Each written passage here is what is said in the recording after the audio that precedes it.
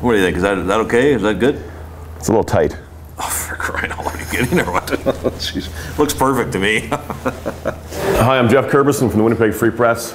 I'm here at the MTS Iceplex, where the Mike Keane Celebrity Classic is being held for the second time. This is a tournament that raises money for charity, and every team that's in it gets to draft a former NHL player. And as you can see, we got Dave Babych. He was tying our skates and taping our sticks for us. And we're playing against a team from Richardson Partners, and they drafted Dale Hawerchuk, former Winnipeg Jet star. Let's go. All right, Dave, you and me. oh, we're going? Yep.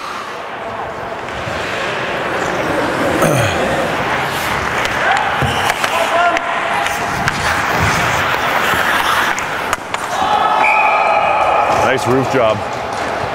Is that my guy? No. I, di- I thought there were no raisies today.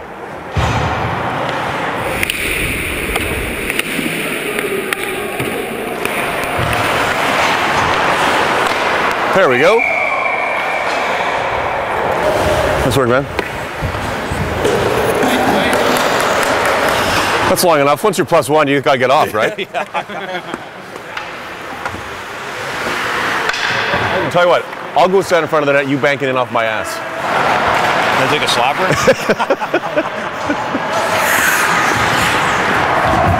All right, Hawerchuk.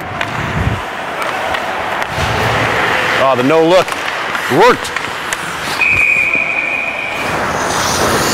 Who's watching, who's watching Scheifele these days? I'll be there tomorrow. I don't believe him.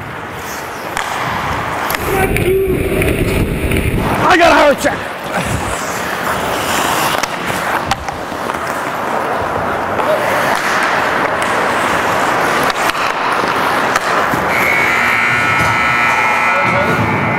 Game, guys. Good game.